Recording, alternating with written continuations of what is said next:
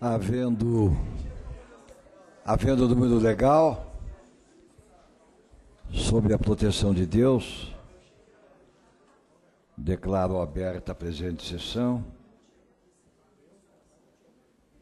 dando de imediato as boas-vindas aos representantes do Conselho Regional dos Nutricionistas.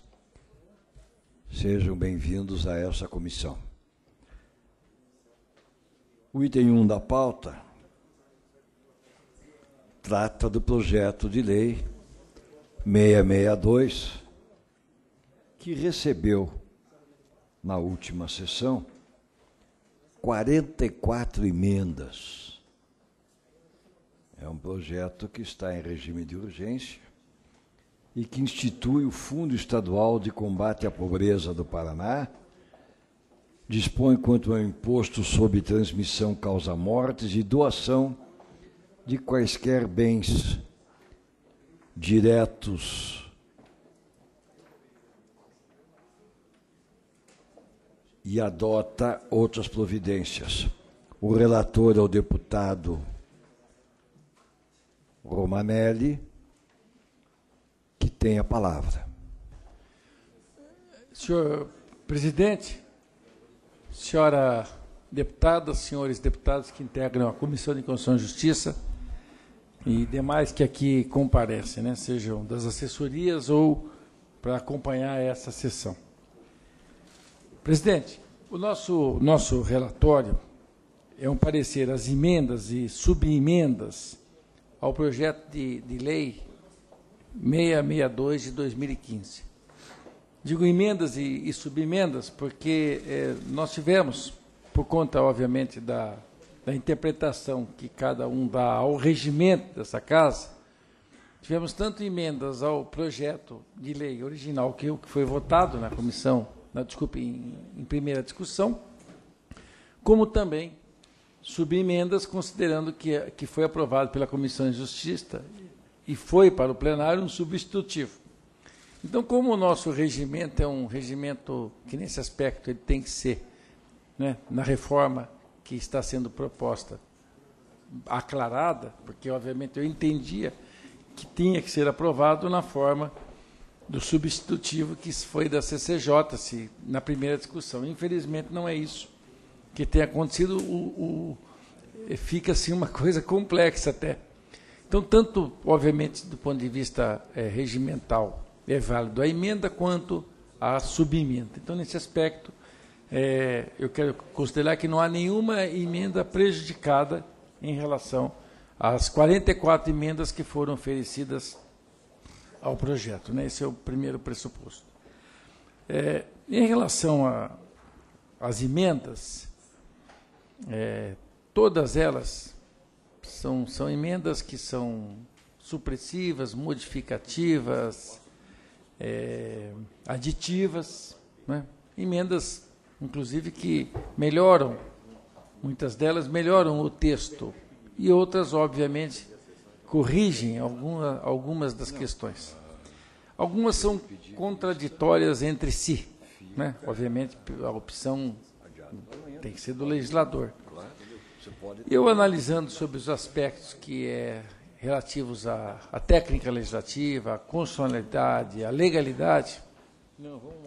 É, eu, quando se analisa isso em profundidade, com base nos contornos legais, constitucionais e infraconstitucionais, é, se verifica que as emendas elas estão em condições, as 44 emendas estão em condições de serem debatidas e votadas em plenário. É, eu entendo que todas elas tratam do mérito do projeto, na forma elas obedeceram o, os princípios constitucionais, legais e, e regimentais, sendo que, que na forma de duas subemendas, é, a subemenda eu, eu apresento aqui junto ao nosso relatório, duas, duas subemendas. Uma para poder corrigir uma emenda, uma subemenda que foi apresentada basicamente pela bancada do PSC, que também inclui no rol, que é um rol taxativo de possibilidades de aplicação de recursos do Fundo de Combate à Pobreza, que é de viabilização de programa de acessibilidade urbana no estado do Paraná é, para população de baixa renda. Há também outros dispositivos que foram tratados nessa subemenda que eu entendo que, que é, merecessem, mereciam ser corrigidos do ponto de vista da subemenda para poder manter aquilo que é na essência, aquilo o que restante que colidiu, colidiu obviamente nós fomos fazendo uma emenda, uma subemenda modificativa. E a outra, é, se trata também de garantir, e é uma subemenda aditiva, modificativa, a subemenda supressiva de plenário, número 17, onde se inclui também a supressão do inciso 5 do artigo 48, para que nós pudéssemos, enfim, essa emenda supressiva, a original, a subemenda, ela trata de não transformar os transportadores em devedores solidários por conta de operações feitas interestaduais oriundas e de outras unidades da federação e oriundas a, a consumidor final. Da mesma forma que essa emenda foi apresentada, ah, é necessário se fazer uma correção em relação ao próprio consumidor final, no sentido de ser garantista a, a essa casa de leis, que não transformar, de não transformar aquele que, por exemplo, faz uma aquisição por e-commerce de uma autoridade federada em devedor solidário, ser, obviamente, o remetente, no caso a pessoa jurídica, não efetuar o recolhimento do, do tributo. E depois de um amplo debate que nós travamos com a nossa equipe técnica e também com a, a Fazenda, a Secretaria de Estado da Fazenda, houve entendimento que esses dispositivos têm que ser suprimidos, no sentido de preservar o direito, primeiro, das empresas, é, empresas e, e, e transportadoras de uma forma geral, inclusive pessoa física, e, obviamente, porque são os escritórios, eu teria que ter um especialistas em tributação em cada uma das sedes das unidades de, de transporte no Estado e dos próprios transportadores. E, ao mesmo tempo, em relação né, do consumidor final, que tem que ter a mesma garantia, ele não pode ser transformado em devedor solidário. Então, nós transformamos isso numa subemenda aditiva modificativa, subemenda supressiva de plenário. E, e com essas duas modificações, eu entendo que todas as emendas, todas, e essas duas subemendas em anexo, eu opino pela, pela aprovação das emendas. E que o plenário dessa casa é que decida, não é, à luz da, da conveniência, da oportunidade, no mérito, as emendas, ou seja, o debate se fará em plenário e com isso, efetivamente, todas as emendas estão acolhidas do ponto de vista da sua constitucionalidade e legalidade, e todas, obviamente, serão debatidas e discutidas em plenário. Então, o nosso parecer é pela aprovação de todas as emendas que foram apresentadas ao PL 662 de 2015. É isso, senhor presidente. Peço a palavra, senhor presidente. Com a palavra o deputado Péricles. Eu peço vistas ao parecer do deputado Romanelli, pela complexidade quanto ao mérito.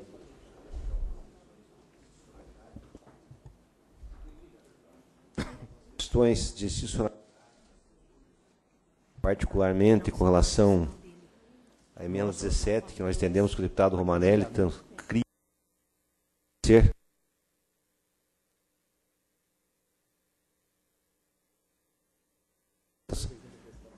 Alô, alô? Alô? Então, em função eh, dessas questões, nós decidimos na oposição pedir vistas para melhor análise até amanhã, quando terá a nova sessão do CJ, não trazendo prejuízo nenhum à tramitação do projeto, senhor presidente. Obrigado. Senhor presidente. Eu também queria pedir Com a palavra vista. ao deputado Escanavaca. Eu também quero pedir vista desse projeto. Senhor presidente, peço visto também só para arrumar umas questões de técnica, que eu vi em algumas emendas lá. Perfeitamente. Fica concedido o pedido de vista ao deputado Péricles, ao deputado. Todos querem vista?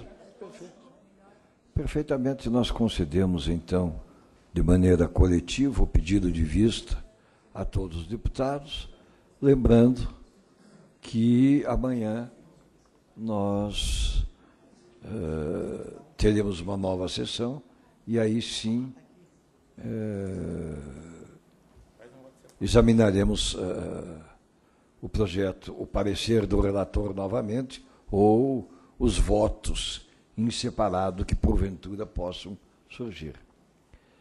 Passamos então ao item 2 da pauta, cujo relator é o deputado Pedro Lupion. São cinco emendas de plenário ao projeto 394, que dá nova redação aos dispositivos que especifica a Lei de Promoção de Praças da Polícia Militar do Paraná. Vossa Excelência, deputado, tem a palavra. Senhor presidente, senhora deputada, senhores deputados, eu peço a atenção dos senhores parlamentares e a paciência, principalmente, por se tratar de um tema extremamente complexo, né, a lei de promoção de, de, de praças da Polícia Militar, e passo a ler o teor do meu voto e, principalmente, as emendas. Senhor presidente, emenda modificativa número 1, de autoria do deputado Márcio Pacheco, pretende alterar o teor das alíneas E do artigo 44, parágrafo 8 e 11 da Lei Estadual 5.940 de 1968, dizendo que pretende alterar a promoção dos praças que possuem o curso respectivo, que têm direito a acesso respeitadas às exceções previstas na lei, e requisitos de matrícula, questões como principalmente não estar cumprindo pena criminal ou ter contra si qualquer tipo de prisão provisória em razão de crimes dolosos que, em geral, atendem contra os valores éticos e morais da corporação ou que afetem a honra militar, o pundonor militar e o decoro da classe, competindo exclusivamente à Comissão de Promoção de Praças proceder à avaliação no caso concreto, manifestando-se mediante decisão fundamentada e recorrível sobre a incidência ou não das referidas restrições. Esse é o texto da legislação hoje, presidente. O que o deputado Márcio Pacheco pretende é alterar a legislação, permitindo que aqueles que respondam a processos criminais possam participar também do quadro de acesso para promoções. Apesar de entender que meritoriamente a, a, a emenda poderia ser benéfica aos praças, e principalmente a tempestividade, a matéria é restrita ao Poder Executivo, vez que obriga a alterar requisitos de organização interna da Polícia Militar, que está subordinada exclusivamente ao chefe do Poder Executivo, nos termos do artigo 66, inciso 3 da Constituição do Estado do Paraná. E, portanto, a emenda acima mencionada encontra óbice no seu prosseguimento e deve ser rejeitada. A emenda número 2, também de autoria do deputado Márcio Pacheco, adiciona o parágrafo 16 ao artigo 44 da lei estadual, determinando o comando da Polícia Militar a publicação até o dia 31 de dezembro de cada ano da relação de todas as vagas disponíveis e os níveis de hierarquia da instituição. Acato a emenda apresentada, vez que foram devidamente observadas as formalidades regimentais e legais, considerando o teor do artigo 137, parágrafo 3 do regimento interno dessa casa. No mesmo sentido, a matéria hora ventilada é constitucional, não havendo qualquer conflito de legalidade ou com qualquer dispositivo constante no PL. Porém, senhor presidente senhores deputados, com o intuito de aprimorar a redação e na busca de uma efetiva aplicação do dispositivo, apresento subemenda aditiva, que ficaria nos seguintes termos: parágrafo 17. Nos concursos, de curso, nos concursos ao curso de formação de cabos e ao curso de formação de sargentos, entre a data da publicação do edital e a realização do exame intelectual, deverá ser respeitado o prazo mínimo de 60 dias. A realidade é que não altera o texto da emenda do deputado Márcio Pacheco, apenas uma questão de forma para que ela tenha aplicabilidade. Então, acato a emenda número 2, na forma da subemenda. A emenda número 3, também aditiva do deputado Márcio Pacheco, em síntese, possui o objetivo de incluir o parágrafo 17, artigo 44, Observado o número de vagas existentes, conforme estabelecido no parágrafo anterior, o Comando Geral disponibilizará as promoções necessárias para o preenchimento de todas as vagas no termos dessa lei. Considerando que o objetivo do, autor é o preenchimento de todas as vagas então ofertadas, possibilitando assim até uma maior segurança jurídica ao membro da corporação que pretende realizar o curso em comento com a finalidade de promoção, entende-se que o objetivo da emenda é válido e não afronta a legislação constitucional. Da mesma forma, acolho a emenda aditiva número 3, na forma de subemenda ora apresentada. A emenda número 4, que é modificativa, de autoria do deputado Felipe Francischini, e também a emenda número 5, de autoria do deputado Mauro Moraes, visam estabelecer critérios quanto ao prazo e ao tempo de serviço para possibilitar o acesso ao quadro de promoção no caso de soldados a cabo e no caso de cabos a sargentos. Falam em uma emenda 10 anos e 15 anos, e outra emenda falam 7 anos e 12 anos, e em um consenso buscado entre esses parlamentares e esse relator, apresenta uma subemenda aditiva, limitando o prazo a 10 anos no caso de soldados a cabos e de 20 anos a cabos a sargentos que seria o entendimento entre as emendas apresentadas para que busquemos principalmente a celeridade. E ressalto, presidente, o intuito desse projeto, de autoria do Poder Executivo e, obviamente, da Polícia Militar do Estado, é possibilitar que os mais antigos da corporação, aqueles que têm mais de 20 anos de serviço, que estão há muito tempo, que nós conhecemos no meio como jurunas, né, que são os mais antigos, tenham a possibilidade de promoção e possam ter a sua carreira é, é, o seu incentivo à continuação na carreira militar. Porque hoje, infelizmente, soldados atingem 15, 20 anos de corporação sem qualquer possibilidade de promoção e acabam, obviamente, atingindo o tempo indo para casa. Coisa que nós não podemos permitir que aconteça mais no Estado, até por uma questão de efetivo. Então, eu peço a aprovação das emendas destacadas na forma da subemenda e o parecer favorável, obviamente. Obrigado, presidente. Peço ouvir, senhor presidente. Está concedido o pedido de vista ao deputado Péricles de Melo. O item terceiro da pauta. Senhor presidente, só peço, peço vista também do, do, do, relator, do relator. Está concedido vista também ao deputado Francisquini. O item terceiro da pauta. O autor é o deputado Pedro Lupion, o relator deputado Escanavaca, que tem a palavra. Senhor presidente, senhoras e senhores deputados, projeto de lei 498-2015, autor deputado Pedro Lupião, revoga o, inciso 5 do artigo 6 e o artigo 8 da Lei Estadual 17.826, de 13 de dezembro de 2013.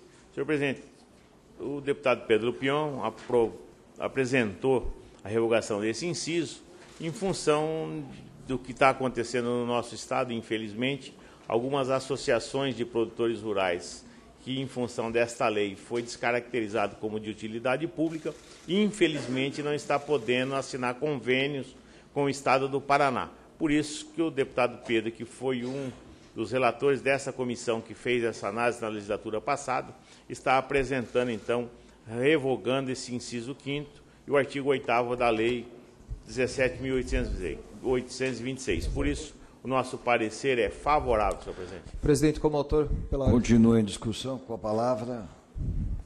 Presidente, apenas explicando, né, o deputado Escanavaca dá parecer favorável, a quem agradeço, apenas explicando aos senhores parlamentares, membros dessa comissão, que esse é o assunto que tratamos há duas sessões atrás, quando o deputado Romanelli apresentou um pedido de utilidade pública a uma entidade de produtores. O que ocorreu? Quando foi criada na legislatura passada aquela comissão para analisar as, as entidades de, de, utilidade pública no Estado, é, criou-se uma lei muito mais restritiva. E no caso das associações de produtores, especificamente ligados, obviamente, à produção rural, existe um convênio com o Banco Mundial, que é um programa chamado Pro Rural. E aí não estamos falando em dinheiro do governo do Estado, estamos falando em fundo direto do Banco Mundial às associações. E a exigência básica do Banco Mundial para a liberação desses recursos é justamente a utilidade pública. E é por isso a nossa, a nossa urgência na aprovação desse projeto, inclusive falo olhando ao deputado Pericles, que sei da sua intenção do pedido de vistas, mas que a gente tivesse principalmente uma celeridade nesse projeto para que esse dinheiro do Rural nós já estamos no mês de setembro, final de setembro, e esse dinheiro será perdido esse ano e as, e as, associações serão prejudicadas. Então, apenas estamos corrigindo uma injustiça que reconheço que cometemos naquela comissão passada. Obrigado, presidente. Continua em discussão. Senhor presidente, com a palavra, o eu deputado perfeitamente Pérez. a preocupação do deputado Lupion é minha também. Eu, eu peço vistas, mas retornarei com muita rapidez a, ao projeto para que seja, possa ser votado. Está concedido o pedido de vista Até ao deputado. está projeto está em regime de urgência, deputado Pérez. Então, É, teoricamente, amanhã, tem que amanhã, votar amanhã. amanhã o deputado Péricles devolve tudo. O item quarto, quarto da pauta, um projeto, uma emenda da Comissão de Defesa do Consumidor, projeto de autoria do, aí, oh, perdão, emenda de autoria do deputado Requião Filho, que recebeu parecer favorável do deputado Praxic e foi concedido vista ao deputado Guto Silva, a quem eu concedo a palavra. Presidente, eu voto com o relator. Não há, Vota não há com o relator. Agradeço. Continua, portanto, em discussão. Encerrada a discussão, os deputados que aprovam o parecer favorável do relator Praxic permaneçam como se encontram. Está aprovado. O item quinto da pauta é uma emenda da Comissão de Indústria e Comércio ao projeto de lei 161, de autoria do deputado missionário Arruda. O relator é o deputado Francisquini, que tem a palavra, deputado. Eu peço adiamento, senhor presidente. Está concedido o pedido de adiamento ao deputado Francisquini, que continua com a palavra para o item 6 da pauta, um projeto de lei 69, de autoria do deputado Rasca Rodrigues e Márcio Nunes, que dá nova redação aos parágrafos 1 e 2 do artigo 20 da Lei 16037 de janeiro de 2009. Senhor presidente, senhores deputados, presente projeto de lei de autoria do deputado Rasca Rodrigues, ele visa realmente é, submeter ao exame dessa comissão uma alteração é, que dá uma nova redação, parágrafo 1 e 2 do artigo 20 da Lei 16.037, que é uma lei que, que, se, que se relaciona com questões ambientais da Ilha do Mel, que foi editado no ano 2009, salvo engano. E na análise que eu fiz dentro da ótica da constitucionalidade, eu não encontrei nenhum óbice, visto que é competência eh, da União, dos Estados e do Distrito Federal legislar concorrentemente sobre florestas, caça, pesca, fauna, conservação da natureza e muitos outros. Então, nesse quesito, não encontrei óbice. Também há um, eh, houve uma baixa diligência à Secretaria de Meio Ambiente, a qual disse que o, o projeto realmente ele tem pertinência temática, só que deveria ser aguardado um aprofundamento de uma discussão que haveria no mês que vem, segundo diz aqui o relatório do secretário Ricardo Suavinski, para, para que seria recomendável que a gente esperasse aprovação para essa discussão. No entanto, é, a prerrogativa do parlamentar é legítima, não existe nenhum ponto de constitucionalidade que seja realmente atacado nesse projeto. E só porque haverá uma discussão não quer dizer que a discussão possa surgir um outro projeto que modifique tudo, é, inclusive o projeto do deputado Rasca, então o meu relatório é pela aprovação. Perfeitamente. Continua em discussão. Em votação, os deputados que aprovam o parecer do relator permaneçam Queria como se pedir, encontram. queria pedir vista, senhor presidente. Está concedido o pedido de vista ao deputado Romanelli. Senhor presidente, Pois não. eu não sei se é oportuno ou não, mas em função do pedido de vista do deputado Romanelli, eu gostaria da oportunidade do autor do projeto que defendesse o projeto. Eu vou atender o pedido de Vossa Excelência, até porque eu, eu- eu- eu- isso é uma questão pessoal minha. É, eu, por mim, acabava com o IAP e com o meio ambiente, mas Vossa Excelência tem a palavra. Aliás, estou para entrar com um projeto para o Mauro Ricardo, é, é, por questão de economicidade, que extinga o IAP, que acho que a Secretaria do Meio Ambiente pode perfeitamente supri-la. Vossa Excelência, que foi eh, presidente das duas secretarias, pode até falar a esse respeito. Com todo respeito, Estamos em fase de economia, vamos extinguir essa turma e mandar para casa. Com todo Vossa Excelência tem a palavra, deputado. Com todo respeito Vossa Excelência, eu discordo veementemente dessa posição. O que o órgão precisa e que eu não consegui fazer foi colocar gente, porque eu sou do último concurso. Então a idade média hoje é 53 anos e as dificuldades são imensas, porque nós temos de toda a sorte é, as situações pessoais de cada um em relação a ter essa, essa idade como média e dificulta bastante a atividade, já que é uma atividade executora que depende de deslocamento, depende de viagem, depende de uma série de coisas. Mas o ideal é que nós fortalecêssemos, porque o IAP, com as suas restrições, que às vezes aparece absurda, ainda pensa bastante no futuro dos seus netos, senhor presidente. Não, a Secretaria do Meio Ambiente supre isso, pode ter certeza. Mas você, é uma questão de opinião pessoal. Vossa Excelência tem a palavra, deputado. Bom, é, exatamente. No, durante o governo Requião, eu fui, junto com, com o ex-deputado Adur, quem escreveu a legislação atual da Ilha do Mel. Isso foi em 2009. E na época nós tínhamos já a intenção de colocar a alvenaria no primeiro andar com laje. E não conseguimos convencer o governador, o governador então autorizou que no mínimo nós deixássemos então um metro de alvenaria, porque a alvenaria é uma construção que dura muito mais tempo, e o que nós estávamos vendo ainda do mel é que as construções em madeira se duravam pouco tempo e, tinha que ficar renovando e ficando lixo dentro da ilha. E hoje, com, até com o aquecimento, com a chegada da luz elétrica na ilha, então hoje, hoje a ilha precisa, não, não estão se tratando de expansão, mas de conforto para quem vai para a ilha. Né? Por exemplo, o ar, o ar condicionado numa estrutura de madeira, ninguém consegue dormir. Por quê? Porque não tem como fazer esse suporte do ar condicionado numa, numa parede de madeira. Então a alvenaria com, com, laje, com a loja vai dar esse conforto, vai, vai ajudar muito as construções de ser mais sustentáveis que são hoje, né, porque o custo é elevado e como essa de 4, 4, 4 5 anos, o mofo, o cupim, as pessoas acabam não tendo recurso para fazer essa renovação dessa residência e acaba tendo residências lá que, em vez de embelezar a ilha, está é, dificultando bastante esta paisagem da Ilha do Mel. Então, a finalidade é essa. É diferente do que se pensava o governo anterior, que a minha posição sempre foi diferente. A minha posição sempre foi na mesma posição do ADUR em relação a essa iniciativa, então é por isso que eu apresentei esse projeto. O que a secretaria pede é que eles estão discutindo e vão colocar isso no próximo, no, na proposta. Só que essa proposta já faz seis meses e ela não vem. Então, então, Vossa Excelência está concordando por que, que eu quero a extinção do IAP? Não, mas aí já é da secretaria. O próprio mas... secretário falou: olha, a proposta é boa. O Eros, inclusive, é, deu parecer em relação a isso. Então, é uma proposta que vem, que não é contrária até à posição do governo, pelo contrário, o Ricardo Sobinski me disse: olha, somos favoráveis em relação a isso. Então, é uma proposta minha e do deputado Márcio Nunes. Perfeitamente. Então, a, proposta são, é, a proposta é válida, fica a solicitação de vista. Uh, quem solicitou vista? O deputado Romanelli. O líder do governo. Valendo. E é bom lembrar, deputado Rasca, que Vossa Excelência talvez não saiba, deputado Rasca, uh, talvez Vossa Excelência não saiba, mesmo que nós decidamos aqui esse projeto, deputado Francisquini, hoje. Uh, essa proposta deverá passar através de um decreto recentemente uh, editado pelo próprio IAP.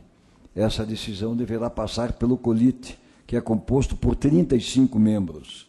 Uh, qualquer decisão re, uh, relacionada a qualquer órgão do litoral tem que ser aprovada pelo COLITE, por um conselho do litoral, de 35 membros, que podem ter certeza, jamais se reunirá. Por essa razão é que eu fiz esse comentário. E acho que esse projeto será, que é um projeto altamente eh, que beneficia a ilha, será prejudicado em virtude desse decreto eh, do superintendente do IAP. Mas está concedido o pedido de, a, de vista a Vossa Excelência. Senhor presidente, só para aproveitando aqui ó, o autor do projeto, é, como ele está na origem dessa, dessa lei, a, a, minha dúvida é sobre a questão da legalidade da constitucionalidade. Não estou tratando aqui o mérito do, do projeto especificamente, obviamente. Eu pergunto, essa lei ela foi originária de um parlamentar ou essa lei veio do Poder Executivo? Em 2008? Poder Executivo. 2007? Do Poder Executivo. Poder Executivo. Claro. Tá, obrigado. O item número 7 da pauta, projeto de lei 273, de autoria do deputado Nereu Moura, o relator é o deputado Ribas Carli, que tem a palavra. Eu vou relatar, a deputada presidente. Cláudia vai relatar. Pois não, deputada. Senhor presidente, senhores deputados, o projeto de lei de autoria do deputado Nereu Moura, de número 273, de 2015, é, visa instituir o cadastro de veículos, veículo aéreo não tripulado, os drones, no âmbito do Estado do Paraná. Nós, foi a análise do deputado, me deixou aqui a incumbência de apenas relatar, mas vejo aqui que a fundamentação ela está bem, bem clara de que não é competência nossa do Legislativo, aliás, é da União né, e da ANAC. Portanto, infelizmente, o, o objetivo é interessante, mas, é, à vista de iniciativa, o parecer é contrário Eu, e inconstitucionalidade. Para encaminhar, senhor presidente. Deputado Romanelli. Senhor presidente, eu quero encaminhar contrariamente. Eu entendo que a- o projeto ele é constitucional, é. Eu acho que nós não podemos apertar simultaneamente os, os nossos botõezinhos aqui. É, o projeto, senhor presidente, eu entendo assim. A deputada Cláudia, ela, ela invoca uma, uma legislação que trata, obviamente, de tráfego aéreo e vigilância. Ora, não há tráfego aéreo, não é, o não é a ANAC que vai regular, por exemplo, como tem acontecido. Muitas vezes, nesse próprio ambiente que nós estamos, não é incomum hoje, em- no próprio plenário da Assembleia Legislativa, no Palácio Iguaçu e outros lugares que eu tenho comparecido, e como todos que estão aqui, de repente entram desses, desses drones aqui para fazer filmagem com uma câmerazinha GoPro, não é? É, e cá entre nós aqui, no, no próprio plenário da Assembleia já tivemos esse objeto voador não tripulado. O fato é que há, poder, é, é competência comum legislar sobre essa matéria, não tenho dúvida. O projeto de lei do, do deputado Nereu Moura é, é um deputado, é um, um projeto de lei que tem, sobre o aspecto da constitucionalidade absoluta, é, é, é, é, possibilidade de, tramitar nessa casa, senhor presidente, inclusive para debater e discutir. Eu entendo que isso não é competência privativa da ANAC legislar sobre isso. Ah, porque nós vamos estar falando sobre, sobre eventos que são realizados no Paraná, nós temos condições de legislar sobre essa matéria, é um tema de relevante interesse público, eu entendo que o projeto é, é constitucional e pode e deve tramitar pela casa. Então, É, eu- só relembrando, eu senhor presidente, que encaminhar- o parecer é do deputado Ribas Carli, eu não, não fiz análise, uma análise profunda, eu sugiro que o deputado peça vistas né, para que possa... Perfeitamente, eh, nós Eu sabemos que Vossa. Excelência está apenas relatando. Eu Mas Vossa. Excelência já deu o seu, o seu ponto, nós podemos colocar em votação. tá? Não, eu, porque veja, eu, eu, posso fazer um voto contrário aqui. Se Claro, me permite, eu vou exatamente. pedir vista e fazer um voto Pois, contrário. Perfeitamente. É isso, obrigado. Vossa deputado. Excelência está concedido o pedido de Senhor vista. presidente, Deputado Fernando tem a palavra. senhor presidente, eu acho que a relatora Cláudia tem razão. Isso é normatizado pela ANAC, sim. Até porque, em função de pesos, que tem que ter alguns drones, tem que ter até prefixo, como tem as aeronaves. O que, se a Assembleia não quiser que venha aqui, é uma proibição da Assembleia. É uma proibição do Palácio, ou da sua casa, deputado Romanelli. Eu acho que querer regulamentar, proibir uma coisa que já é competência federal, eu acho que a gente está entrando num mérito que não é nosso. A ANAC tem sim uma regulamentação, é recente, inclusive em função do que tem acontecido no país, que de repente no peso do drone tem que ter inclusive prefixo para que saber quem é o operador, em como operar, em que situação operar. Eu acho que eu concordo com o relator Bernardo Carli de que realmente não é competência nossa estar entrando nessa área. De qualquer maneira, está concedido vista ao deputado Romanelli. O item oitavo da pauta, projeto de lei 188, de autoria do deputado Rasca Rodrigues. O relator é o deputado Pedro Lupion, que tem a palavra. Senhor presidente, Senhores deputados, projeto do deputado Rasca, projeto 188 de 2015, disciplina o plantio de eucalipto no estado do Paraná. Vamos lá. Senhor presidente, a iniciativa flagrante, uma vez que a Lei Estadual 10.066 de 1992 estabelece que, dentre as competências do Instituto Ambiental do Paraná, está a de propor, executar e acompanhar as políticas de meio ambiente do Estado. A iniciativa da legislação em relação a políticas, a iniciativa de legislação em relação a políticas públicas e planejamento ambiental do Estado é de competência do Poder Executivo por intermédio da Secretaria de Meio Ambiente. O IAP já desenvolve toda a política ambiental do Estado, conforme suas competências e áreas de atuação, em conjunto com a Secretaria de Estado do Meio Ambiente, de acordo com os critérios já estabelecidos na legislação ambiental estadual e federal. Nesse contexto, é importante observar que a pretensa legislação objetiva modificar, por intermédio dos artigos 4 e 5 a própria estrutura da Secretaria do Meio Ambiente, seus órgãos vinculados, bem como alterando suas atribuições, que é vedado pela Constituição Estadual, considerando que o artigo 66 reserva tal competência de caráter exclusivo do Poder Executivo. Uma vez aprovada a matéria, representaria uma ingerência do Poder Legislativo no Poder Executivo, considerando que é inconstitucional a lei proveniente de iniciativa parlamentar que disponha sobre atribuições de órgãos da administração pública. Da mesma sorte, é incontestável, visto a iniciativa e a ingerência do Poder Legislativo do Poder Executivo, abala diretamente o princípio constitucional previsto no artigo 2 da Constituição Federal e a teoria de separação dos poderes além de ferir o princípio da separação dos poderes, consequentemente tornando o projeto de lei inconstitucional por vista de iniciativa, existe violação a outros dispositivos que dispõem acerca da divisão das competências entre os poderes. Além disso, senhor presidente, o projeto em análise fere a norma de iniciativa, haja visto que a matéria em apreço, conforme anteriormente exposto, é de, de competência da Secretaria Estadual do Meio Ambiente. Considerando ainda o vício na legalidade do presente projeto, que se refere, faz uma remissão à legislação revogada anteriormente, que se denota na linha C do inciso 1 do artigo 3 do presente projeto de lei, que trata do déficit de áreas florestais correspondentes a reservas legais das propriedades rurais, assim entendidas as áreas de 20% de cada propriedade, conforme estabelecido na Lei 4.771 de 1965, lei essa revogada no ano de 2012, sendo substituída pela Lei 12.651 de 2012. Não foram trazidos à proposição documentos que aferissem a possibilidade de enquadramento do projeto em previsão orçamentária para a implantação da situação pretendida, tão somente cláusula genérica no artigo 9 da proposição. Portanto, senhor presidente, meu voto é pela não aprovação do presente projeto, não havendo estimativa de impacto orçamentário financeiro no exercício em que deva entrar em vigor e nos, nos dois anos subsequentes, Declaração do ordenador de despesa de que o aumento tem adequação orçamentária e financeira com a lei orçamentária anual e compatibilidade com o plano plurianual, leis de diretrizes orçamentárias e, além disso, tudo antes, anteriormente exposto em relação ao vício de, de iniciativa, vício de legalidade e ausência de impacto financeiro. Senhor presidente. Em discussão senhor o projeto. Senhor presidente. Na verdade, estamos discutindo o projeto oitavo do autor Rasca Rodrigues, né? Disciplina Sim. o plantio do eucalipto. Eu não tenho um projeto aqui. Pela síntese, eu discordo de algumas questões colocadas pelo deputado Lupion e vou analisar com mais profundidade e peço vista a esse projeto. Está concedido o pedido de vista a Vossa Excelência.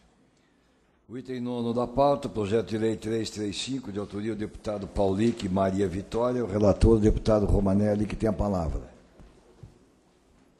Senhor presidente, o presente projeto ele, ele visa instituir um mecanismo de inibição da violência contra a mulher no Estado do Paraná, através da aplicação de multa ao agressor em caso de utilização de serviço público. O projeto, na verdade, tem alguns aspectos que, que a, a princípio, né, parecem inconstitucionais, aspectos inconstitucionais, mas, por outro lado, é o seguinte, o Paraná reconhecidamente está batendo recordes cada vez mais em números de, de, de casos de violência contra a mulher. Então, nesse aspecto, senhor presidente, é, eu penso estudar melhor esse projeto para ver uma forma de poder eventualmente fazer um, uma emenda, um substitutivo que pudesse, de fato, ter um instrumento também adequado a isso. A, a, a mim parece, é, essa casa, inclusive, tem que ousar nessa questão que envolve a inibição de atos contra a violência em relação à mulher. Nós somos o terceiro estado do país com, com casos. Enfim, é uma situação que, ao invés de melhorar, tem piorado. Então, O fato é que nós temos que tentar, de fato, no parlamento aqui, ver o que é possível ser feito. Então, eu vou pedir adiamento no sentido de tentar construir aqui uma, uma solução para poder salvar esse projeto, senhor presidente. É isso. Está concedido o pedido de adiamento, de adiamento a Vossa Excelência. O item décimo da pauta, projeto de lei 455, de autoria do deputado Vilmar Reichenbach. Deputado Pedro Lupion. Peço tem a adiamento, palavra, presidente. Pede adiamento. O item 11 da pauta, projeto de lei 453, de autoria do deputado Pauli, que recebeu parecer favorável do deputado Péricles de Mello e foi concedido vista ao deputado Francisquini do voto em separado do deputado Pedro Lupion, que foi um voto contrário ao parecer do relator. É, não possui voto separado, senhor presidente. Foi concedido vista também aos deputados.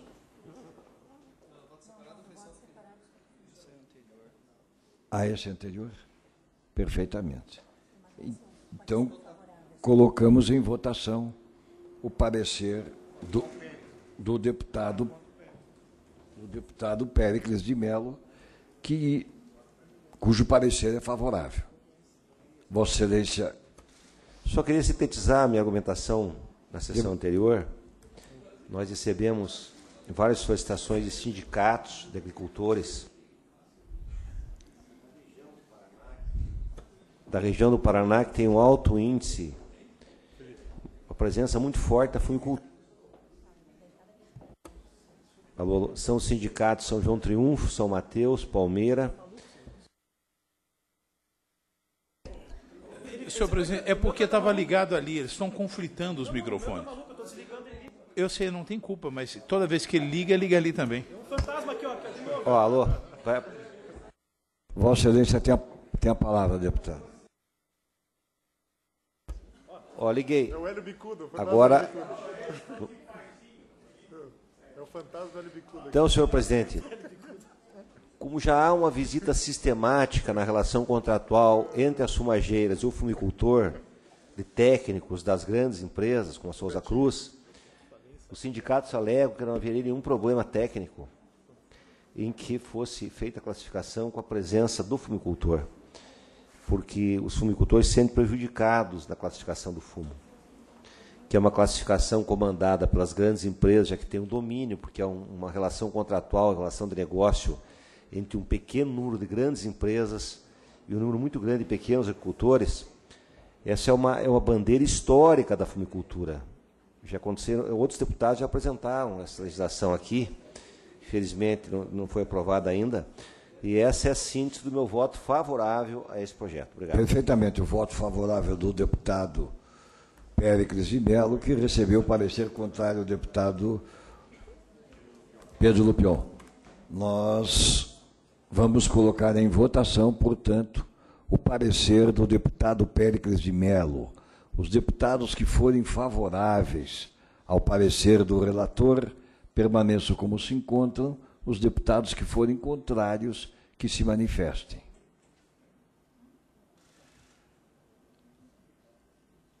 Está, portanto, aprovado o parecer. Não. Vossas Excelências não estão votando. Eu estou colocando em votação o parecer do relator. O parecer do relator, os deputados que forem favoráveis permanecem como se encontram, os deputados Contrariamente, portanto, está rejeitado o parecer do relator. E a pro- Gostaria que, que que a ata constasse o nome dos deputados Pois que votaram não. favoravelmente. Deputado Gilson, deputado, deputado Péricles, alguém mais vota a favor? Do... por gentileza, poderiam repetir a votação para que nós pudéssemos anotar? Apenas o deputado Gilson foi favorável ao E, e o parecer favorável de- do relator.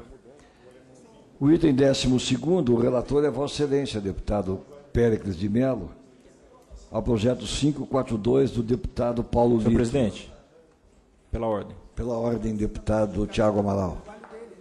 Não, não necessariamente. Se o seu for rejeitado, tem que ser redistribuído novamente para o novo relator. Portanto, tem que ser colocado em votação o parecer do deputado Pedro Lupião também. Não, não, não, não, deputado. Nós, não, não, não. Não, não é esse procedimento que a gente tem adotado na, Não, nessa comissão. Sim. Ele fez um voto separado. Não, senhor presidente, se ele fez com voto Não. separado, Nós votamos, nós rejeitamos o parecer do relator. Mas ele fez com um voto separado. Sim, mas nós temos que colocar em discussão, o, em votação. Não, nós não colocamos o voto. Não há necessidade de se colocar o voto em separado em, em votação. Claro. claro. Uh, Vossa. Excelência tem a palavra, deputado. Senhor presidente, o, proje- o projeto em pauta Com a Do palavra, o autor, deputado, deputado. Péricles de Mello. Paulo Litro, eu pensei bastante sobre esse projeto, pedi tempo, inclusive. Eu acho que é um bom projeto. É, Ele pretende a notificação pela rede de saúde aos órgãos de segurança pública do atendimento de pessoa ferida. Então, para ser uma regra. Alguém chegou esfaqueado, atirado no posto de saúde, imediatamente a- o agente de saúde que atender, o funcionário, faz a comunicação à órgão de segurança. O parecer é favorável, porque entendo que esse projeto é importante. Em discussão, pra- em votação. Presidente, para encaminhar. De- Para encaminhar, quem quer encaminhar? Eu, excelência. Deputado Romanelli. né?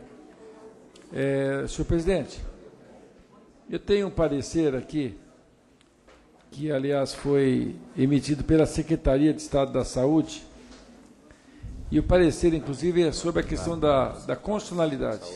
né? E, e trata, obviamente, de um dos mais sagrados direitos do cidadão, que aqui foi, foi, foi consolidado, que é o direito à intimidade e, e aquele que nos, nos preserva né, é, do conhecimento alheio. E, e, obviamente, reserva-nos a própria vivência é inviolável por força do preceito da Constituição Federal, artigo 5 inciso 10 e, e desse, diante desse exposto, o parecer é desfavorável dada a incompatibilidade com princípios constitucionais entre a pretensão legislativa e a realidade fática vivida no estabelecimento de saúde do Estado do Paraná. É o parecer, Peço a palavra, senhor é presidente. o parecer da Secretaria de Estado da Saúde, o parecer fundamenta a questão técnica do projeto, mas o que importa mesmo é a questão é, constitucional. Né? Vossa Excelência tem a palavra, deputado. Nesse caso, a Lei Maria da Penha seria plenamente inconstitucional, segundo a visão do deputado Romanelli. E é uma conquista Continua- da, da continua defesa do direito da projeto. mulher. A sociedade brasileira, e veja bem, eu inclusive defendo ciclo de restauração. Eu não tenho uma visão maniqueísta da relação da mulher. Eu acho que, a- eu acho que o machismo é uma relação. Não é uma coisa do homem sobre a mulher, é uma relação eh, múltipla, que implica uma relação do homem em relação à mulher e da mulher em relação ao homem. Mas eh, a lei da Maria da Penha, pela intimidade que há nesse caso específico, entende que qualquer pessoa que saiba de uma agressão, que presencie uma agressão, pode denunciar, não precisa ser a vítima. Então, eu, eu discordo totalmente que seja inconstitucional esse projeto. Alguém chega com um tiro no posto de saúde. O agente vai avisar simplesmente. A Secretaria de Segurança não há punição nenhuma pessoa, nem a intimidade. O máximo pode acontecer é que o agente de segurança possa fazer uma visita, conclame, solicite a pessoa, aí dar esclarecimento, se quiser. Então, eu- acho que isso é uma coisa que, que a, a grande questão do Brasil hoje é a questão da violência, das mais diversas formas. Por isso que após refletir, refletir com profundidade, discutir, eu dei o parecer favorável a esse projeto do deputado Litro. Continua em discussão o projeto de autoria do deputado Paulo Lito e o, o parecer do deputado Péricles de Mello. Encerrada a discussão, os deputados que forem favoráveis ao parecer do relator permaneçam como se encontram, os que forem contrários que se manifestem. Está aprovado o parecer do relator. Deputado Alexandre Cury relata o item 13º, projeto de lei 538, de autoria do deputado Alexandre Guimarães.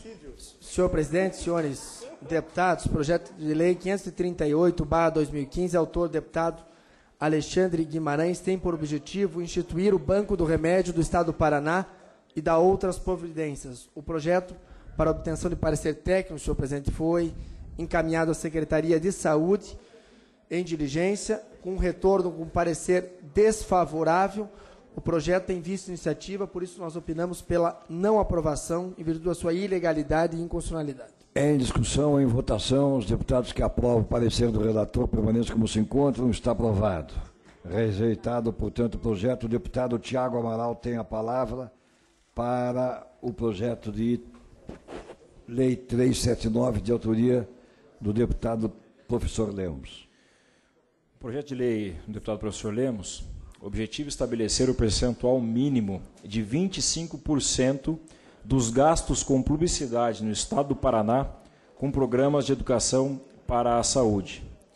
O projeto ele, ele visa, na verdade, a limitar ou a impor ao Poder Executivo um, um gasto direcionado a um programa de governo. Obviamente que como um programa de governo, porque nós não estamos falando aqui de limitações constitucionais, porque se assim fosse, deveria ser feito através de emenda constitucional é, e não por um projeto de lei infralegal. Então, nós estamos falando é, de um programa. E programa, a iniciativa deles, obviamente, é de competência do Poder Executivo. A, apenas ao Poder Executivo é possível administrar o próprio Estado e as suas receitas.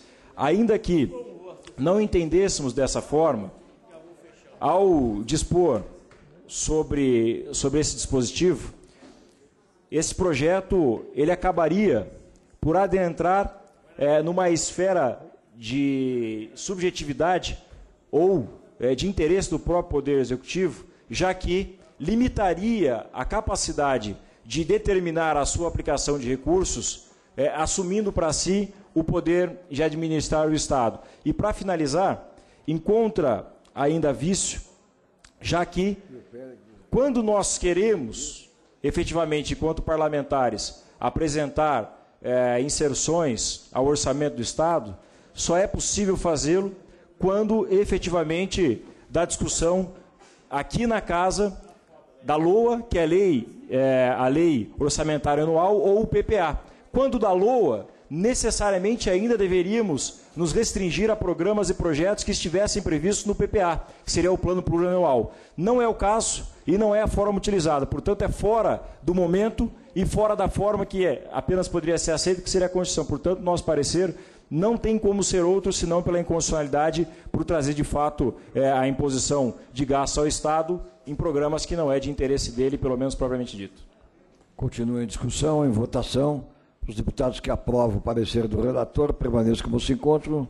Está aprovado. Nada mais havendo a tratar, encerramos a presente sessão, marcando outra para amanhã, a hora regimental. Levanta-se a sessão.